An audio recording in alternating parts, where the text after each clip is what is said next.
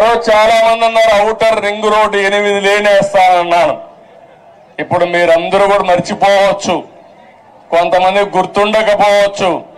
కానీ నా మనస్సాక్షిగా ఆలోచించినప్పుడు నేను చేసిన పని నా మనసుకు ఆహ్లాదం ఇస్తుంది ఆనందాన్ని ఇస్తుంది తృప్తిని ఇస్తుంది అని చెప్పి కూడా నేను మీకు తెలియజేస్తున్నా.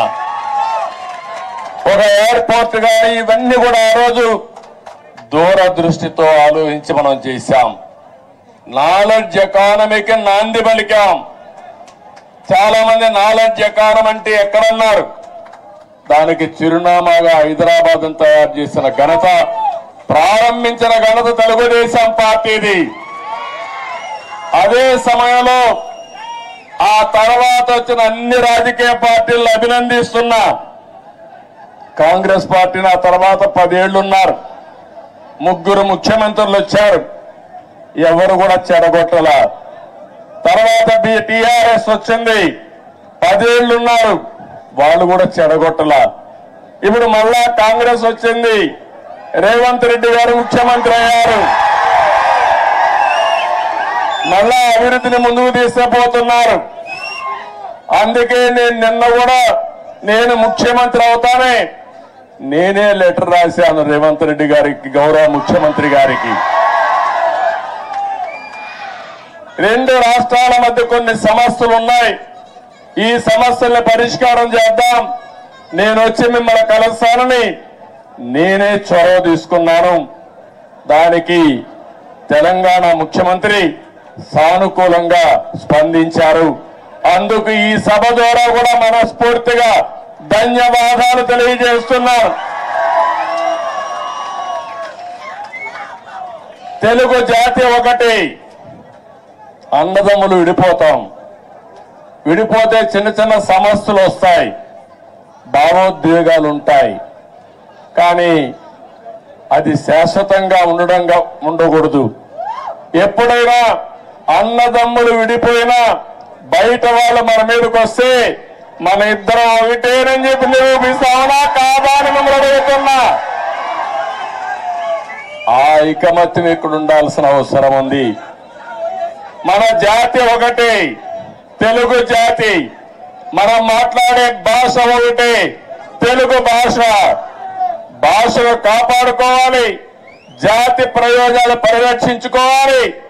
రెండు రాష్ట్రాలు కూడా బాగుపడాలి ముందుకెళ్ళాలి. అదే తెలుగుదేశం పార్టీ ద్వేయం కూడా అవునా కాదా మీరే ఆలోచించుకోవాల్సిన అవసరం ఉంది. ఇంకొక పక్కన మీరు ఒకసారి చూస్తే రెండు రాష్ట్రాలు విడిపోయిన తర్వాత అన్నాదమ్ములు విడిపోయిన తర్వాత ఎవరి కుంపటి వాళ్ళదే? కష్టపడితే సుఖపడతారు ఎక్కువ సంపాదించుకుంటే ఆనందంగా ఉంటారు. అయితే అదే సమయంలో ఏదైనా కలిసి పనిచేస్తే ఒక న్యూ ఎనర్జీ కూడా వస్తుంది.